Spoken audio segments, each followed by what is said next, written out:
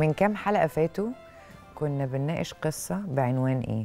كل عريس بيعرف إني مريضة بيسيبني. اتكلمت فيها مع أسماء بطل القصة حقيقية. زعلانة ومقهورة مع إنها ناجحة وشاطرة ومعيدة في الكلية. بس جالها مرض اسمه وهن العظام أو وهن العضلات.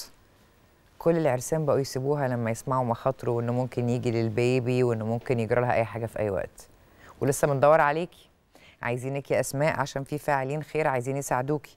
أرجوكي ابعتي لنا لأن إحنا دايما بنعمل انونيمس بقولها لكم تاني أو رابط إخفاء الهوية.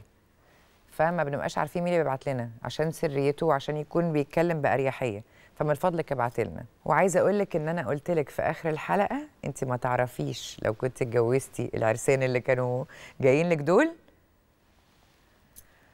وأنت عندك المرض ده كانوا هيعملوا فيكي إيه؟ شفتي؟ أكيد كان ربنا شايلك الأحسن. قعدت أذاكر قصة ياسمين كتير. افتكرت حكايتك يا أسماء وأكننا بنرد على بعض. بتمنى إن انت تكوني بتشوفي حلقة النهارده. أتمنى أتمنى وتسمعي كلام دكتور غادة وتشوفي بتقول إيه. واحدة مرضها خلاها إن هي زعلانة وأنا خسرت كتير وأنا مش عارف إيه. واحدة الجواز والخلفة وهيخليني أسعد واحدة في الدنيا. بقوا نقمة عليها يا حبيبتي. متجوزة واحد مش أصيل ما عرفش يراعي ربنا فيها قعدت مع أهله ملوش كبير خد منها الولد والبنت ومش عارفة تعمل إيه دخلها في دوامة ومشاكل ومحاكم وبصرف عليهم و... ودايما بنقول العهدة على الراوي. يعني إيه؟ يعني اللي بعت لنا القصة. لو الطرف التاني عايز يطلع ويتكلم إحنا ما عندناش أي مانع طالما بتتكلم بأدب ما بتغلطش في طرف تاني وطالع بتقول رأيك بمنتهى الوضوح. إحنا مالناش دعوة. وهنا في قصة حقيقية قصصنا كلها حقيقية. واللي عايز يرد بنديله فرصة. فأنا عايزة أقول لك على حاجة.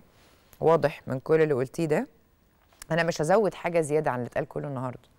لا على كلام القانون اللي سمعناه ولا على كلام علم النفس اللي سمعناه. ملهاش إلا في الود. من وجهة نظري تتحل ودي. أي حد بيمر بقصة زي دي لازم تتحل ودي لأن إحنا بينا العيال. مش هنعاند بعض في العيال. بشكركم جدا.